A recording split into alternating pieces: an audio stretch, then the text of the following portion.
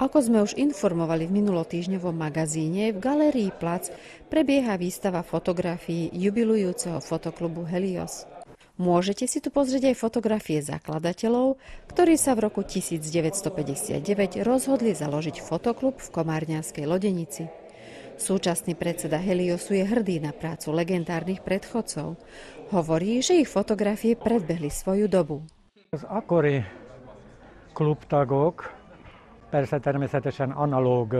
Samozrejme, vtedajší členovia klubu pracovali analógovým spôsobom. Takže vyvolávali film, zväčšovali fotografie a v tom čase fotografovali lodenice v Komárne na úrovni, ktorá nebola každodennou, ale na umeleckej úrovni. Fotografovali prácu a lode v lodenici. V archívoch máme veľa snímok, ktoré si môžeme spätne pozrieť a boli to veľmi kvalitné fotografie. Sok fotónk van az archívban, amit vissza tudunk nézni, és nagyon minőségi fotókat készítettek. Členovia klubu v tom čase pracovali v ťažkých podmienkach a ich činnosť ťažovala aj komunistická cenzúra.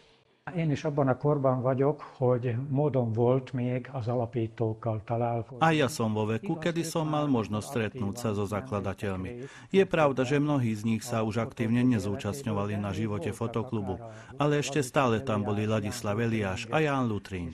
Vlastne, keď ešte pracovali a z ich rozprávania, ktoré som počul, viem, že boli problémy aj s výstavami, pretože sa cenzurovali fotografie. A často sa dostávali do konfliktu s vedením vtedajších najväčších stranických organizácií, ktoré nechceli mať fotografie najmä z oblasti sociografie. A tak dochádzalo k úsporom. Területén ott voltak ütközések. V súčasnosti má fotoklub Helios 25 aktívnych členov. Zúčastnili sa mnohých národných či medzinárodných súťaží a svoje najnovšie práce často prezentujú aj v našom meste vo výstavnej sieni Zičeho paláca, ale i pod holým nebom. Az aktív tagok közül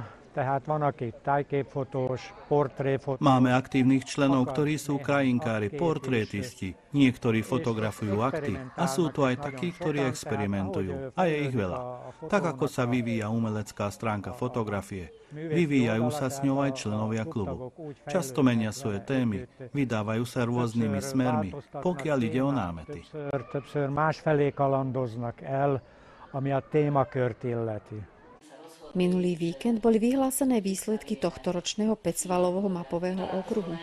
V Stropkove bol fotoklub Helios už 7 krát po sebe vyhlásený za najlepší fotoklub na Slovensku. Podľa Tibora Vargu, ktorý je aktívnym členom organizácie už 40 rokov, je tajomstvom úspechu pozornosť, ktorú svojej činnosti venujú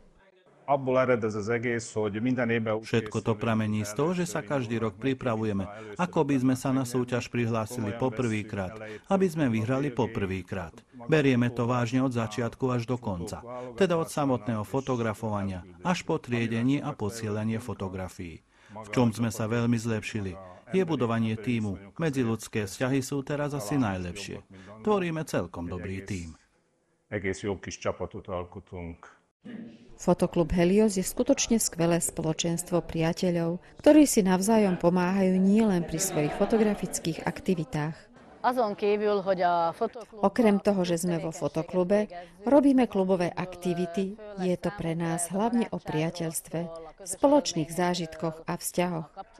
V tomto klube sme si za dlhé roky vybudovali priateľstva. Sme radi spolu a v podstate každý spoločný program, každý spoločný zážitok, každá spoločná výstava či každý klub je pre nás radosťou a sviatkom, ktorý môžeme spoločne zažiť a prežiť. Fantastická priateľská komunita tvorivých umelcov, dobrá atmosféra, dobré akcie, výborné fotografie. Členovia fotoklubu Helios majú ešte veľa plánov.